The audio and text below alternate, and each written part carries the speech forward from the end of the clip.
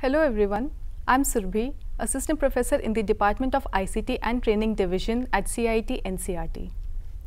Today, we will be discussing on the integration of ICT in teaching, learning and assessment. Let me start with the introduction of the panelist.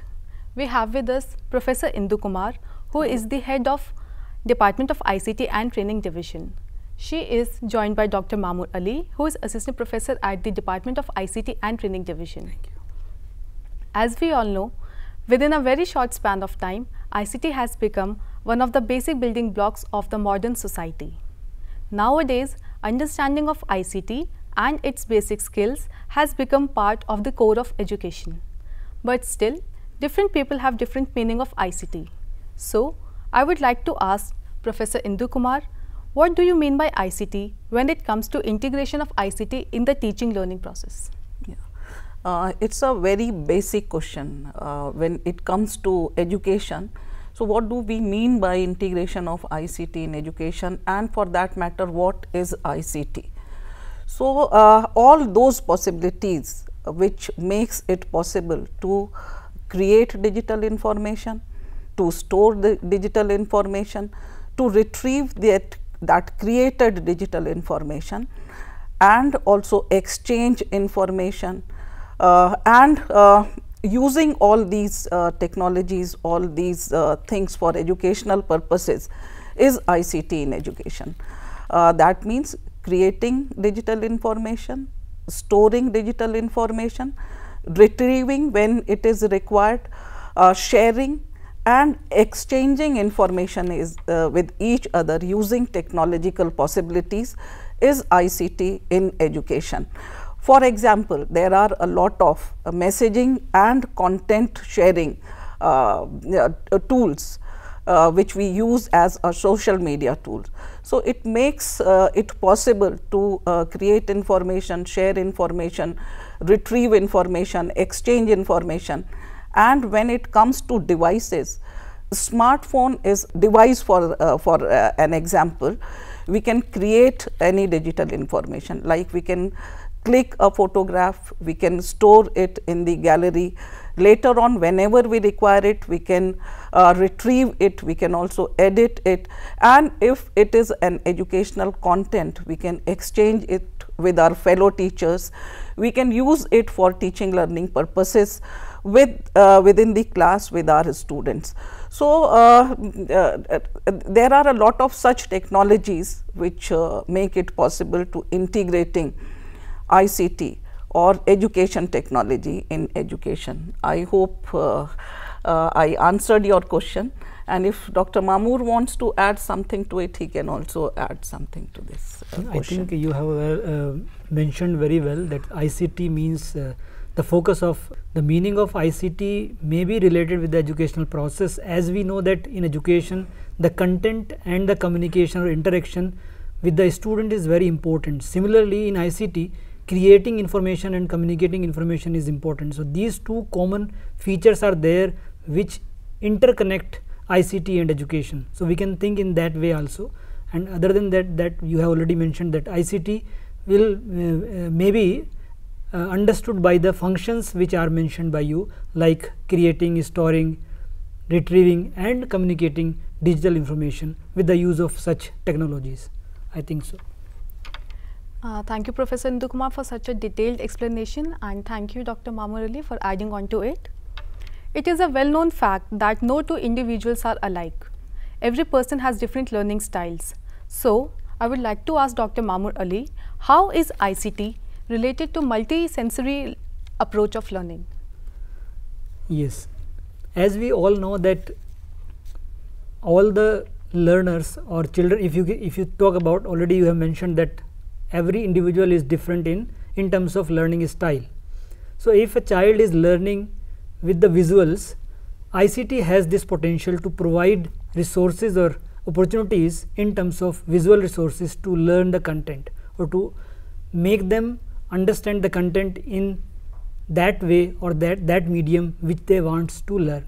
Similarly, there are so many children which are learning with the use of auditory you can say senses or in terms of the resources which are provided in, the, in terms of audio resource. Similarly, there are different type of learning styles similarly to audio auditory and visual there are kinesthetic learners and there are tactile learners. So, ICT has potential to provide them resources for their learning style to facilitate their learning process. So, this way we can say that ICT is facilitating the learning process by providing learning resources as per the need of the learner in terms of learning style.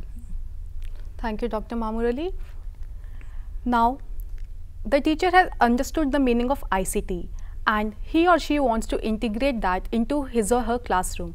So, I would like to ask Dr. Indu Kumar, what is the practical way to integrate ICT in teaching learning process? So, uh, when we want to integrate ICT or technological resources into the teaching learning process, we need to uh, take care of a lot of consideration. First of all, we need to uh, analyze the content, to what content we are going to teach. So, the content should, so, uh, should be suitable to integrate certain kind of technologies. If the content does not require any technology, it is not a compulsion to deliberately integrate ICT or technological resources for this analyzing the content, the nature of content it is very, very important because sometimes there are uh, such content which are best explained by uh, chalk uh, and board or by verbal communication. But whenever there is such content, we need certain kind of media interventions like some abstract content which cannot be made clear by ver verbal explanation. Then comes the role of media or then comes the role of technology. Then we to analyze what kind of technological resource we need to integrate at that particular spot for the better conceptual clarity of uh, the, uh, uh, the content we are dealing with. And then we also need to take care of the context of the learner as you know India is a diverse country. So, geographically it is diverse. It is diverse in terms of socio-economic background of the learner. Culturally also we are uh, different. We can understand certain kind of content to which we are exposed to.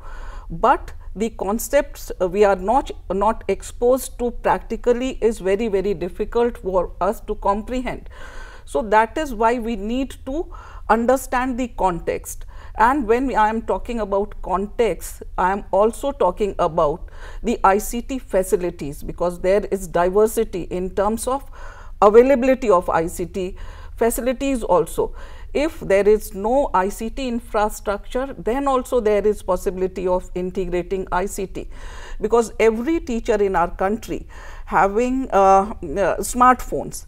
So, smartphone also uh, uh, poses a lot of possibilities by which we can integrate ICT in teaching learning process. There are a lot of uh, educational apps which are available by which we can make teaching learning process more interesting, more comprehensible for the learner.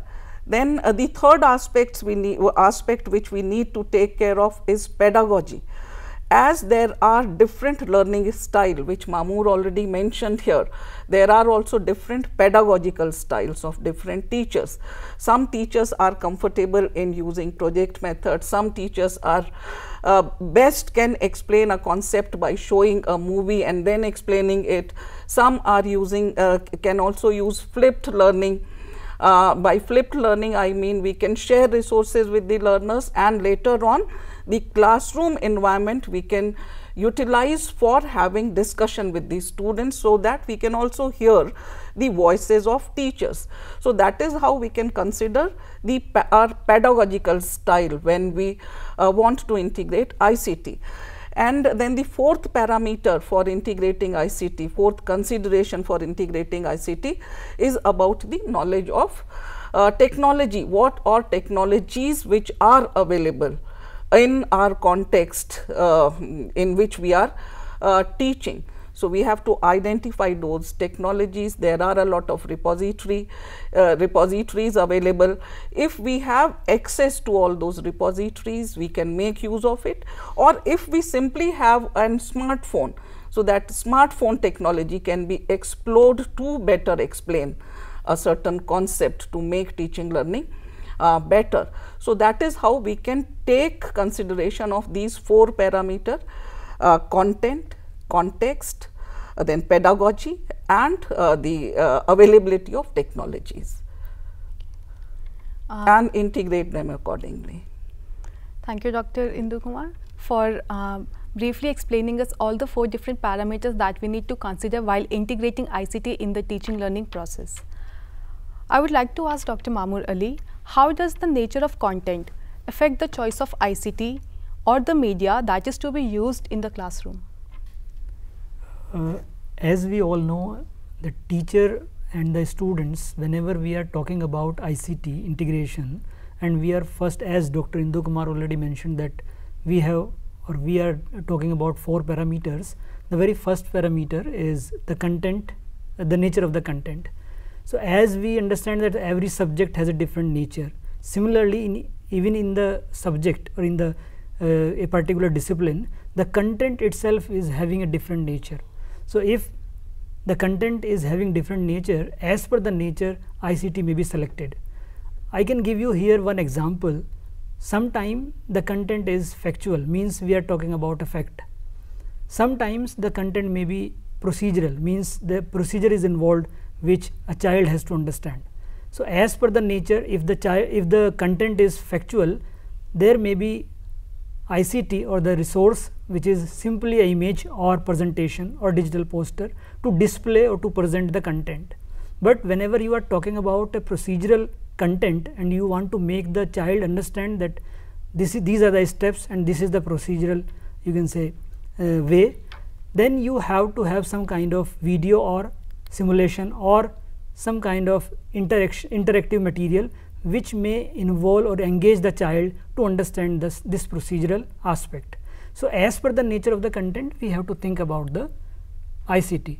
So, content may have different uh, nature like factual, procedural metacognitive element may be there or it may be uh, conceptual. So, as per the nature we have to select ICT. Yes. So, now we all know that as per the nature of the content ICT tools should be selected. Now that we have understood the importance of content analysis, let me ask Professor Indu Kumar, can you explain the importance of context in the integration of ICT? the understanding the whole scenario, the context of the learner as well as the teacher is very, very important. So, there are demographical considerations also when we uh, talk about context. The demography of the learner or teacher is such as uh, I already mentioned that there is no uh, ICT uh, tools or ICT facilities available there. So, they have to look at the whole context, the whole scenario before identifying a particular ICT, a particular ICT uh, uh, possibility, integration of ICT uh, possibility. Uh, like that we can also understand what all uh, the learners are exposed to if they are residing in a particular geographical locations. We cannot use internet if internet is not reaching a particular geographical location. So, we have to look for offline ICT uh, resources uh, there at that place. And also there are learners who have some kind of special uh, needs. So, their needs need to be catered to uh, uh, by uh, using or selecting suitable ICTs. There are learners who cannot who, who cannot see or he, who cannot they, they are deaf and mute. So, uh, the technologies which best cater to all such children with special needs also builds their context.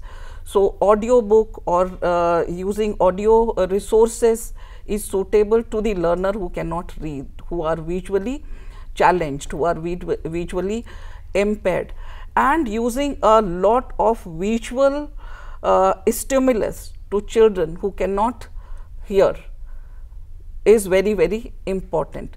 So, like that we can analyze the context in terms of availability of technology and in terms of the learners we are dealing with and also the kind of teacher we uh, we are, we also have to analyze our ICT competencies and in the given context, we have to enhance our uh, skills and abilities for making learning uh, comprehensible, for making learning interesting for the learners we are dealing with.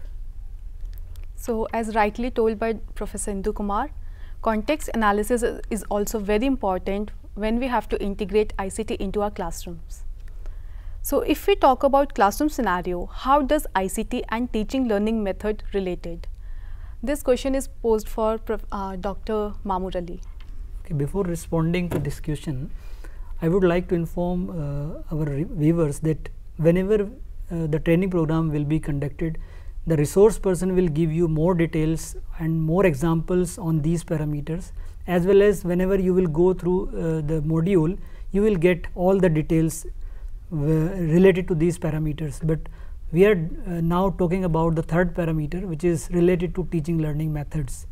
So as we are discussing from uh, nature of content to context and then teaching of methods all these are interrelated whenever we are thinking about a nature of the content and found that for example the content is uh, having the procedural uh, nature then we are saying that we will select a particular type of resource or you can say ICT. Similarly, when you are talking about a content which is procedural you will select a method like for example, if I want to make the child understand the difference between metals and non-metals maybe a teacher can use uh, activity method to give them activity to differentiate between the metals and non-metals. So, for that purpose ICT may be chosen or you can say the, uh, the ICT may be selected to first project or to present the you can say images or the objects in front of the child in terms of digital resources and then there may be some interactive built with the help of some software like we are using H5P nowadays or there are so many other software or you can say technologies which can create interactives to give them opportunity to differentiate between the objects virtually. So, there are so many technologies or ICTs which can be associated or linked with the teaching learning methods. So, similarly there are so many other examples whatever we are telling here it is suggestive.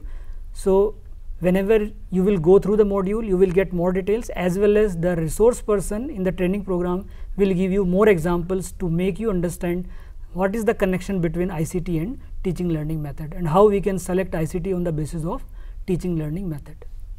So, I would like to add uh, something here like for example, when we are uh, a teacher is making a lesson plan planning uh, for his or her teaching. So, there is different ways of integrating ICT in their plan which they are uh, making which they are chalking out for the children. Like uh, we can integrate uh, technology pre-lesson. Like I talked about flipped learning, share resources earlier. Mm and then they come to class uh, seeing all those resources, studying all those resources and make use of classroom environment uh, in uh, discussing with each other or discussing with teachers. So, that is how we can uh, integrate technology pre-lesson and during the lesson. So, there are mid lesson uses of technologies also if we want to show uh, something uh, some uh, video program or we want to make children listen to some audio we can integrate wherever the context come during the lesson we can integrate that particular resource uh, mid lesson and there are a lot of assessment uh, tools also by which technologies also by which we can H5P uh, Dr. Mamur already mentioned by using this H5P software we can create beautiful quizzes pictorial quizzes we can create educational games by which by playing uh, those games children can uh, very well uh, uh, make assessment of their learning and also teacher can can use them to uh, assess the learning of the learners. So, like that we can integrate ICT uh, pre-lesson, mid-lesson and post-lesson or wherever we feel like to enhance learning. The teachers who are using web portal nistha.ncert.gov.in they can also use mobile app and they can access the resources even offline. So, these are the two things which are uh, technology you can say supported uh, facilities are there to conduct and to monitor these training activities. So, with this we will close the panel discussion for today. Hope you liked it and got a clearer picture of how to integrate ICT in teaching, learning and assessment. For more information, you can access the resources which are given in the module and on the platform. Thank you Professor Indu Kumar. Thank you Dr. Mamur Ali. Thank you.